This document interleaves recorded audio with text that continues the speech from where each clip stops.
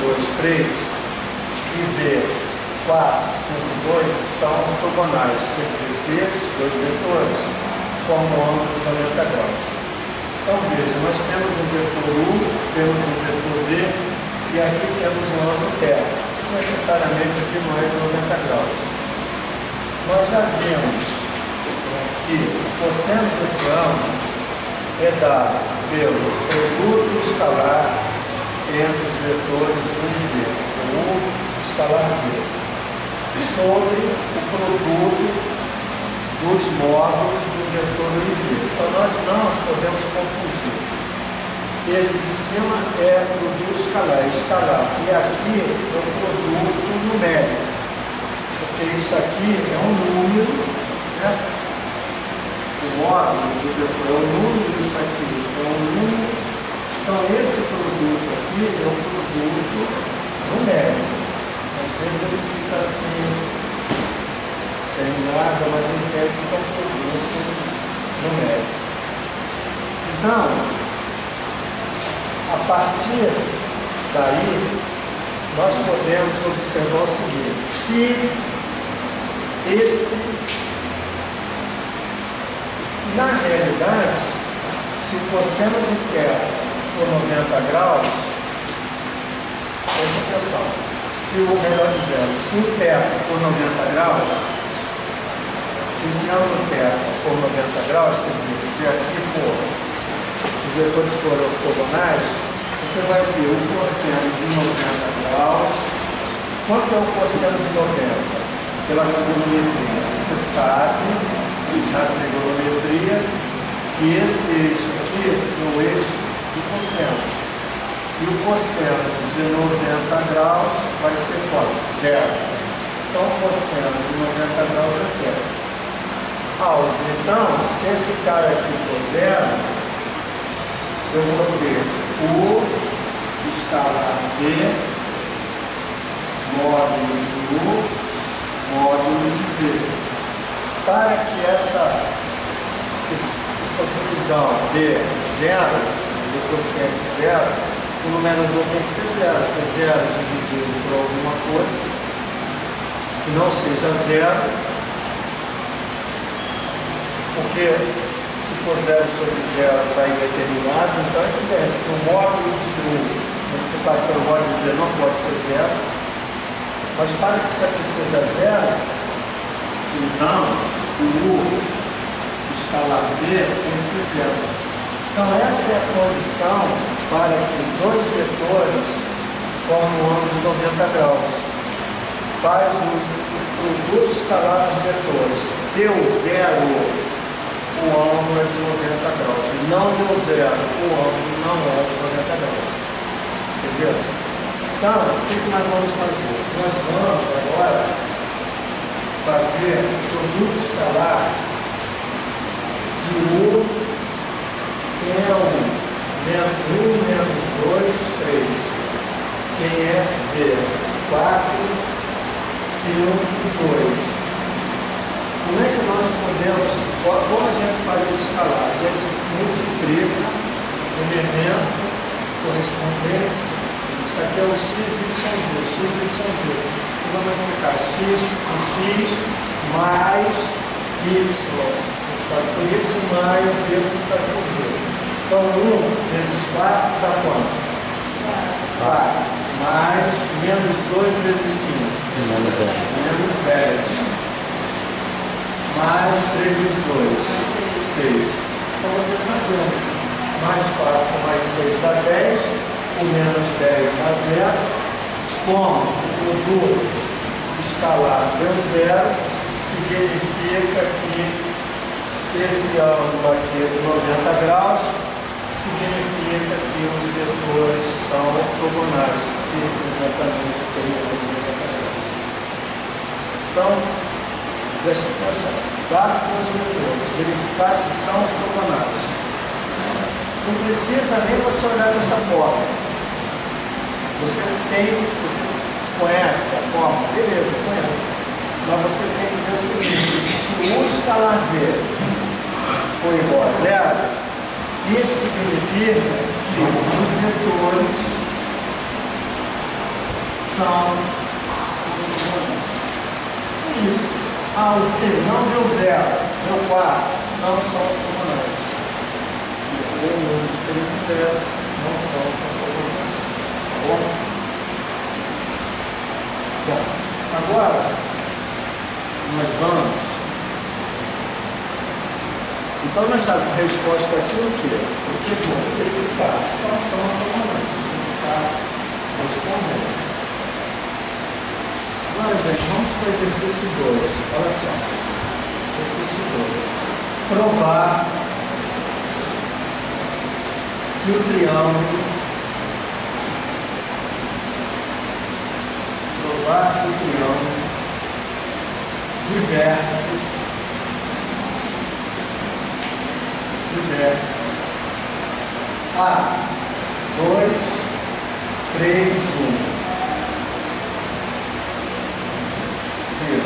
B. 2, 1 menos 1. E C. 2, 2 menos 2 é um triângulo retângulo.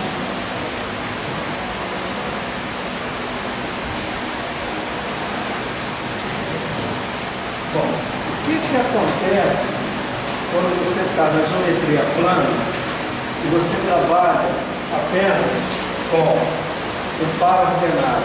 É, às vezes, fácil de você ver na geometria plana. Na geometria espacial, isso se torna complicador, porque você tem esse triângulo no espaço. Por exemplo, eu posso ter um ponto aqui, eu tenho um ponto aqui, eu tenho um ponto aqui. Então, esse triângulo certo? no R3, ele é mais difícil de visualizar, se torna mais difícil essas, essas é, definições geométricas, enfim.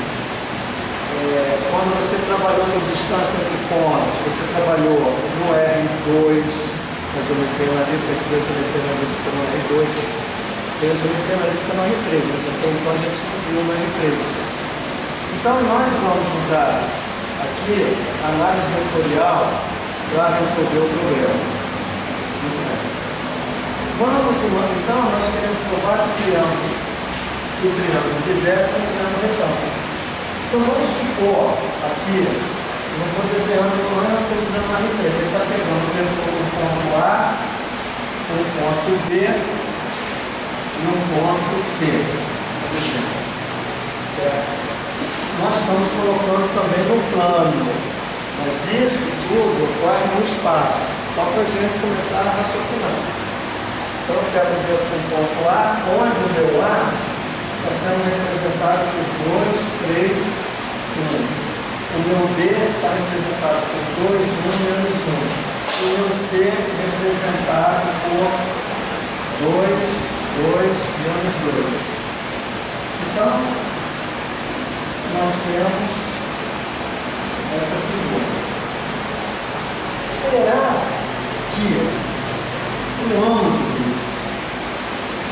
formado pelo vetor AB, porque eles são vértices de um triângulo. Então, para que nós possamos ver vetorialmente, é aqui é um ponto, eu vou ver, o vetor AB é o, é, o, é vetor que vai definir, de uma forma vetorial, o módulo desse vetor vai definir o lado do triângulo, o lado AD. Então eu quero ver o ângulo A, então eu tenho que ver o vetor AD e o vetor AC.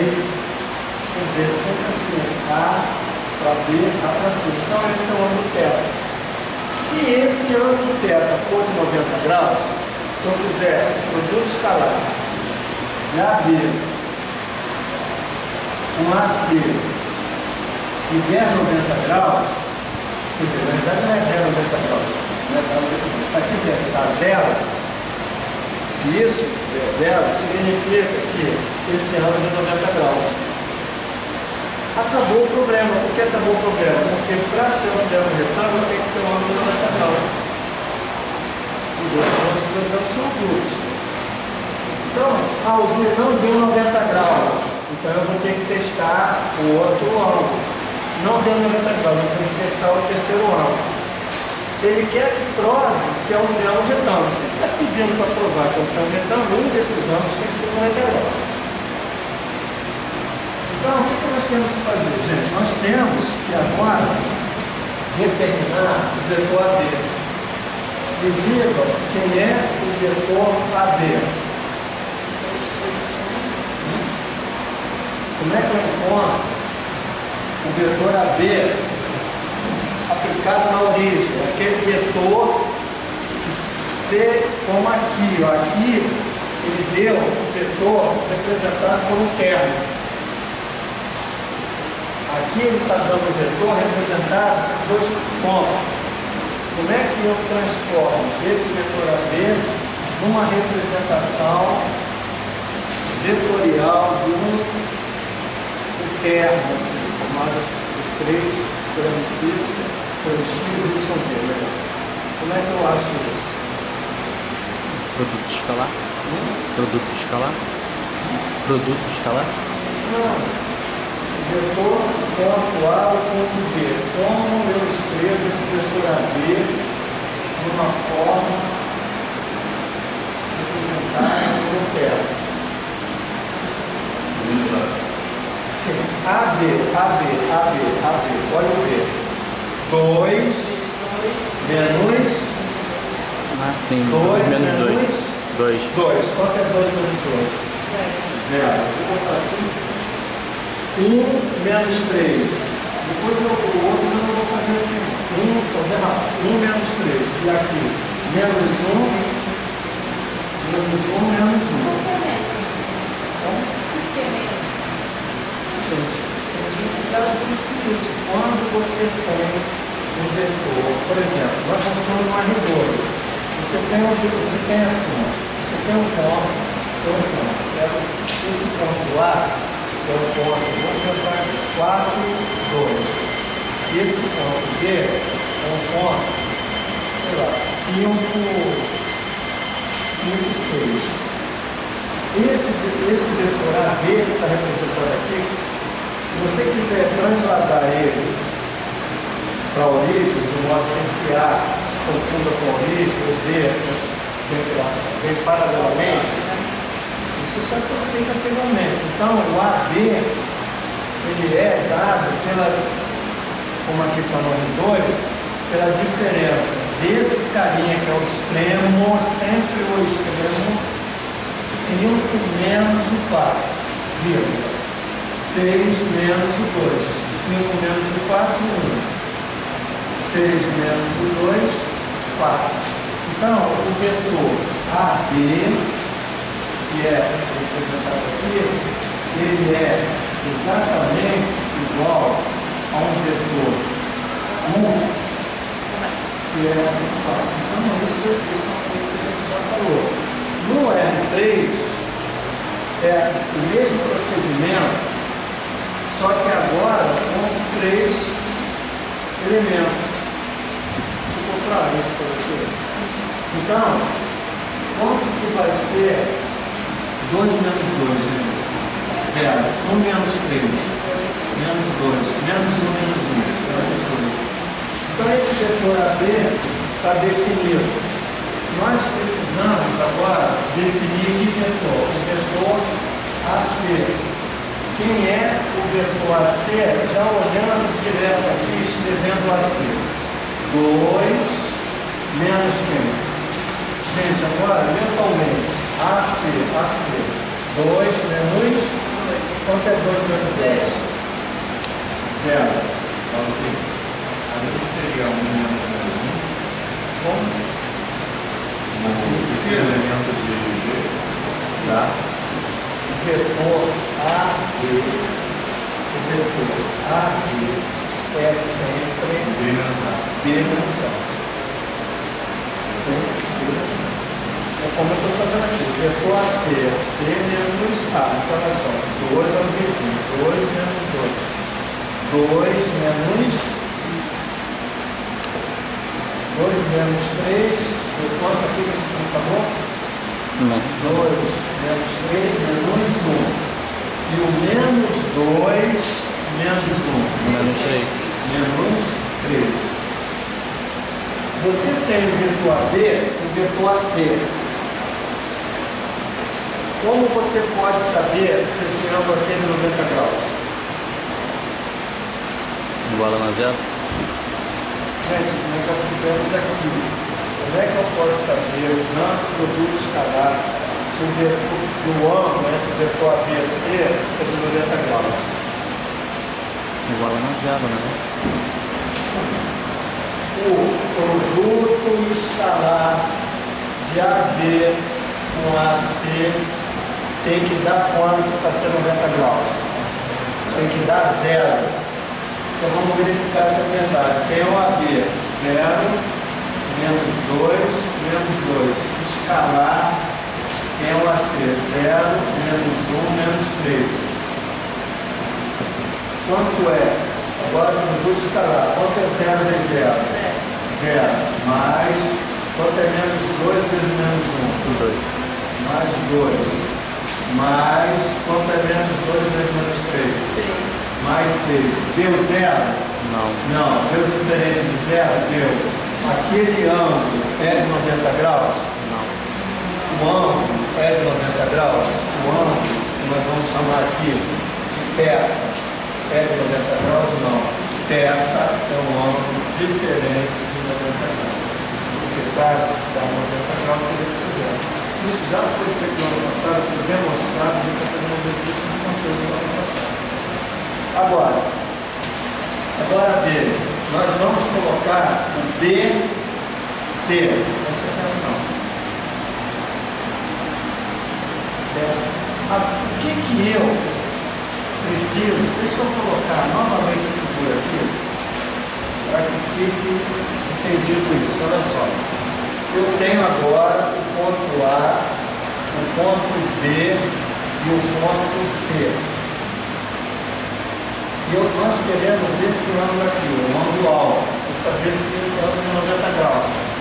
Então eu vou pegar, para que você tenha um ângulo, os vetores, eles têm que estar numa forma arrumada onde esse extremo tem as origens dos dois vetores. Então eu tenho que olhar para BA agora, eu tenho que olhar para BC. Então eu vou, esse ângulo aqui eu estou chamando de ângulo alto. Mas eu, de uma forma vetorial, eu uso BA e BC.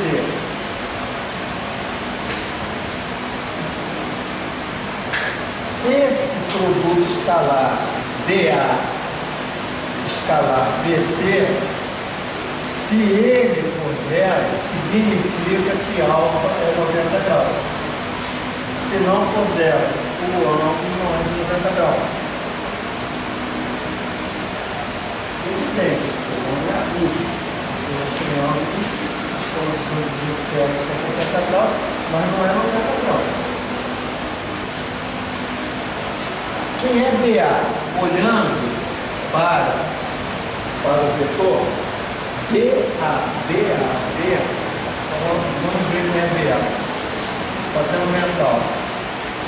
BA. Zero. 2 menos 2, quanto é? Zero. Zero.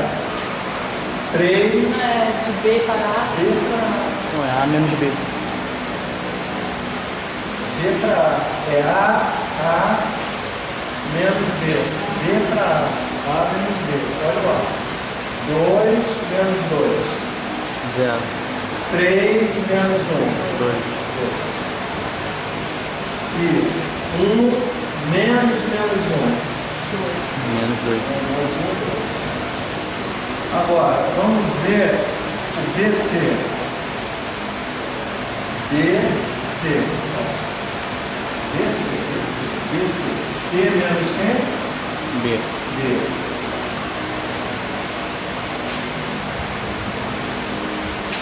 Então vamos lá. C. 2 menos 2. Zero. Zero. 2 menos 1. Um. 1. E menos 2 menos menos 1. Menos 2 mais 1. Quanto é menos 2 mais 1? Menos 1. DA escalar BC. 0 que multiplica 0. 0 que multiplica 0, 0. Mais 2 que multiplica 1. 2. Mais 2 que multiplica menos 1. Menos 2. 0 mais 2, menos 2 dá quanto? Quanto que dá isso? Zero. Zero. O produto escalar deu zero. Significa que o ângulo alfa é de 90 graus. Há necessidade de verificar esse ângulo aqui? Não, porque um triângulo retângulo só tem um ângulo de 90 graus. Então você provou que aquele triângulo é retângulo. E é retângulo onde? É retângulo em B. Então, se você quiser dizer, ele é retângulo nesse vértice. Entendeu? Ficou claro, gente, isso para vocês?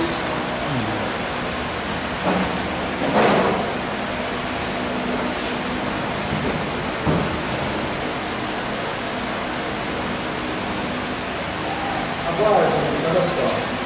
Três. Determinar, determinar um vetor ortogonal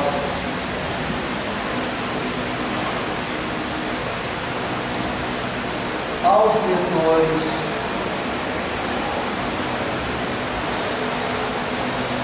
V1 chamou aqui de V1, 1 menos 1, 0, e V2, um vetor 1, 0, 1. Então, ele dá dois vetores no espaço, por que no espaço? Porque você tem aqui um termo, são três, são, ah, são formados pelo x, y, z, pelo x, y, z, e é muito mais, é muito mais, não, é difícil talvez a visualização quando você está no espaço. Eu te falei, no plano, você representa o sistema cartesiano, você vê no plano a representação do espaço, você vai ter que representar o x, y, z, você vai ter que representar o ponto. Essa representação geométrica pode ser feita no plano, onde entende-se, não tem como você fazer isso no espaço, desenhar no espaço. Então você transforma esse desenho no plano, onde você faz né, a famosa representação x, y, z. Mas essa questão aqui, ela, ela quando você começa a fazer muitos rabiscos ali, torna às vezes difícil você enxergar né, o problema. Você já tem mais um, um eixo aqui. O que ele diz é o seguinte, ele tem o vetor V1, posso até, não vou fazer geometricamente não, mas observe o seguinte, olha, o vetor V1, o x vale quanto? O x do vetor V1 vale, vale quanto? X. Vale 1, não é isso? Entendeu? Vale 1. Certo? O y vale menos 1. Então ele vale. O ponto está no eixo y negativo. Vou botar aqui menos 1. O que, que acontece com esse, com esse ponto? Ele está aqui, desse lado. Como se fosse do outro lado da sala. Eu não estou vendo, eu estou nesse, nesse diabo aqui. Como se eu estivesse lá do outro lado. É como se eu estivesse aqui, sei lá, o X, o Y, o Z. O X positivo, o Y positivo, o Z positivo. Quando eu olho o X negativo, eu estou do outro lado o meu Z é zero. Pô, se o meu Z é zero, esse ponto está de 4 a 0. Então esse vetor V1. O vetor V1. E o vetor V2? O vetor V2, o meu x é 1. O meu x é 1. O meu y, quando eu quero buscar o y, o meu y é zero. Então, na realidade, se eu rebater esse ponto x com y zero, ele está aqui. Só que a cota é 1, então eu vou levantar esse vetor, vou levantar esse vetor, uma unidade no z. Então esse carinha aqui é o vetor V2. Então veja como começa a ficar difícil a representação geométrica. Não sei se é difícil, mas exige mais da gente. Ele quer um vetor que seja ortogonal simultaneamente ao vetor V1 e ao vetor V2. É difícil você ver aqui esse vetor ortogonal. Isso, porque você, será que ele está assim? Será que ele está assim? Você começa a ter dificuldade na visualização. E a análise analiticamente, quer dizer, sem ser geométrico, analítico quando você faz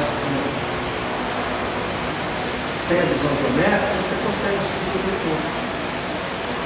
Essa, essa é a beleza da, da coisa, quando você tem que cuidar você vai usar o análise vetorial de forma analítica. Então, vamos raciocinar. Eu preciso de um vetor eu não posso chamar de U, que é XYZ. Eu não sei quem é esse cara. Não sei. Não sei. Mas eu sei que esse cara que eu estou querendo, com o vetor V1, tem que fazer 90 graus. E esse cara que eu estou querendo, com o vetor V2, tem que fazer 90 graus. Então, a matemática tem uma lógica.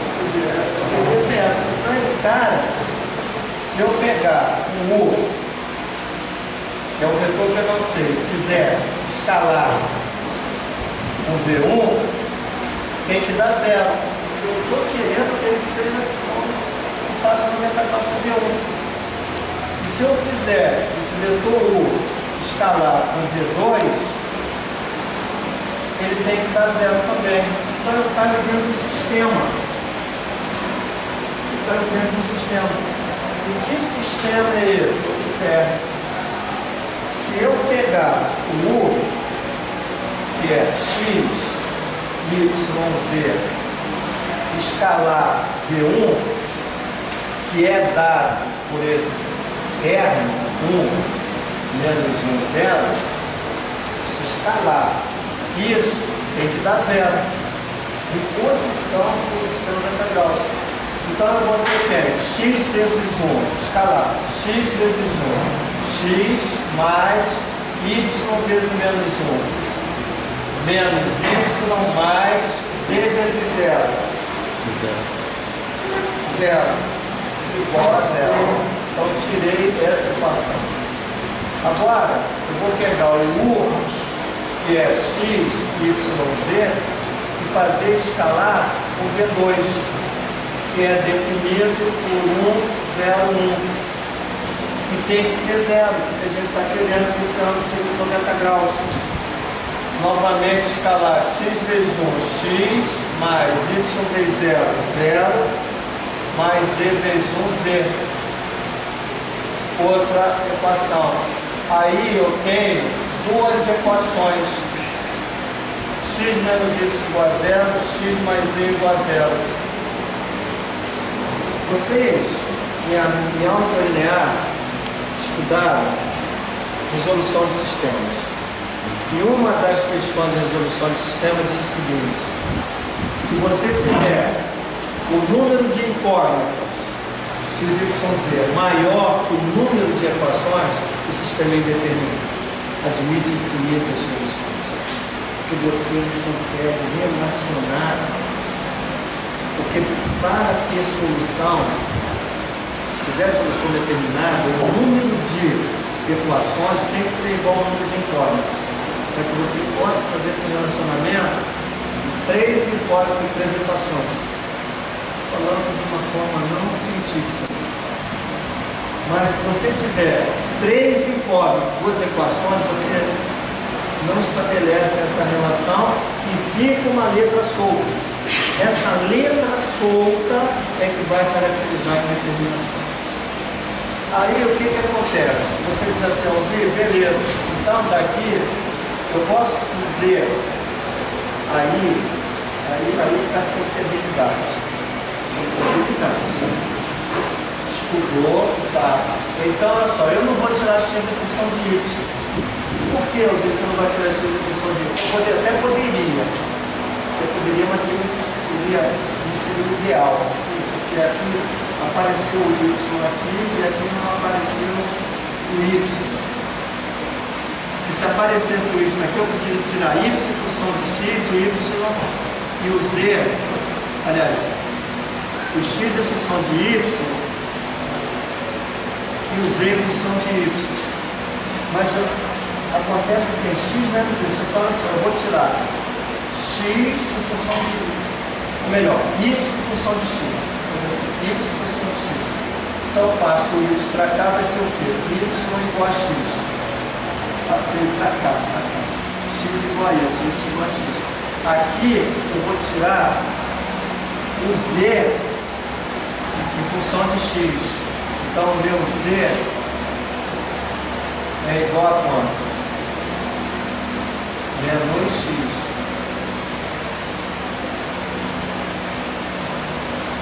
Essas letras que são comuns, essas letras que são comuns, você tira o y em função delas. Então, olha só, y em x e z em função x. Quando você formar a solução, veja que todos estão dependendo de x. Então, a primeira é x, e é x, é aqui que vai entrar o x, a segunda, o Y, vai ser X e a terceira Z vai ser menos X. O que, que significa isso? Significa que essa solução ela admite infinitas soluções onde o meu X é real.